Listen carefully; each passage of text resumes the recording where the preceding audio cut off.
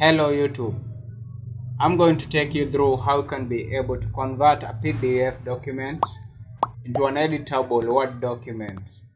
Before I get into this video, remember to subscribe to our channel, turn your notification on. So I'll go into my PC and locate the document, the PDF document that I want to convert to Word.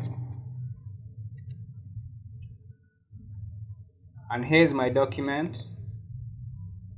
I open it with Adobe Acrobat. Here's my document. As you can see, the document is not editable.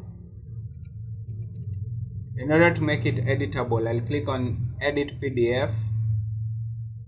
What this does, it enables the editing whereby it creates these blocks so that you can be able to input something. For example, if I delete this, you can see it is editable.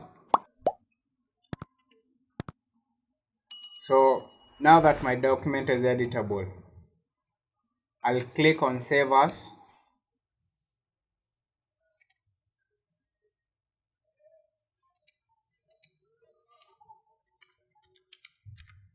The most important thing is to change this save as type from PDF into Word document so select the Word document docx, then click save. As you can see after you export, it automatically opens the document in Word.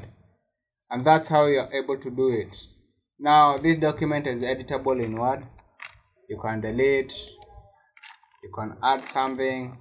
For example right here you can just type something in the document and that's how you are able to do it. I hope this video has helped you. Click the subscribe button, talk to us about anything you want us to do or show you, and we'll get back to you. Thank you, and I'll see you in our next video.